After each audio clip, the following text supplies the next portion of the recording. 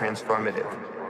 It will perhaps shake you enough to realize, you know, that you need to be awake to the fact that you don't know, and that is the beginning of starting to know.